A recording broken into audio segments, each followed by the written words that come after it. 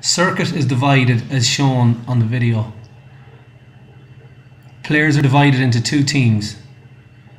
Team A must pursue Team B.